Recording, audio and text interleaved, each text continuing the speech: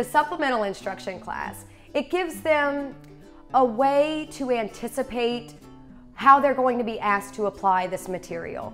So in the lecture class, they have about 130 people, you know, so, and on any given day in the supplemental instruction class, we'll never have more than 20. Everybody that's there is trying really hard to learn and they have good questions and they're very focused.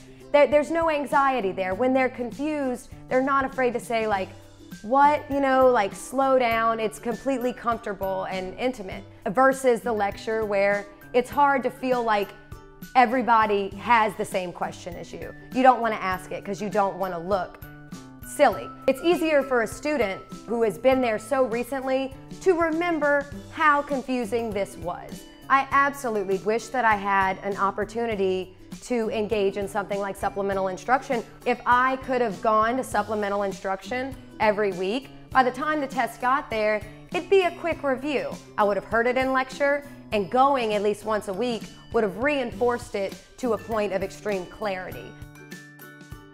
My first class at UNO before, math class at UNO before I decided to be a mechanical engineering major um, was just a survey class and it was taught traditionally. The experience was good, but sometimes it was difficult to keep up with and the current 1115 class I'm in is extraordinarily different.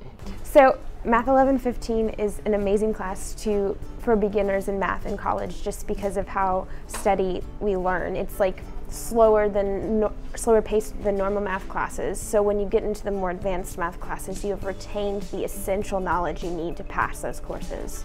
The teacher does our lecture like it's kind of set up in every sec section of the class is separated and it also that's how the homework's set up. So then she tells us at the beginning of class whatever the next thing is. We go over that.